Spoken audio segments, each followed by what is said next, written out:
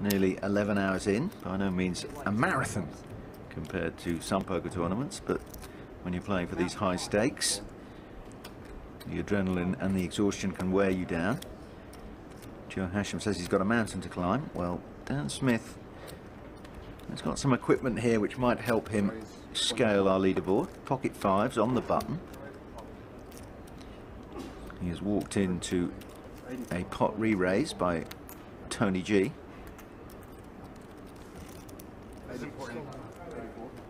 Sixty thousand is the asking price. 196. Mm. And Tony G says I've got 196. Dan Smith says fine, I'll put you all in.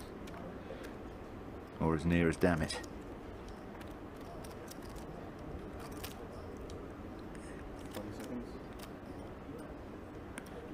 These two have crossed swords a few times before, and usually it's been Dan Smith who's come out on top. Tony G just doubled up, time pressure ticking away. He's in the money now. That might loosen him up a little. Four, three, two, one. Well, not this time. He allows the clock to fold his hand for him. Show it. Show it for a thousand. Just Will you trust what I say? Yeah, of course. For a thousand? No.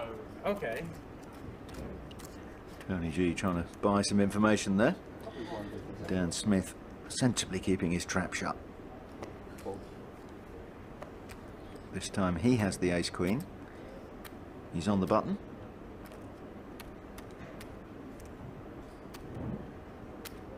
Raise 28. 28 to go. Tony G 96 total. Aggressive again. Ace six suited. All in. And call. All in call.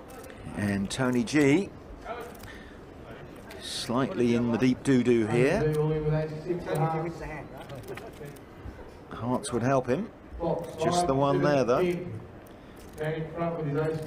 Running flush, running straight cards for Tony G. Oh, that's six, of course. Well, now an eight. A date with an eight, says Tony.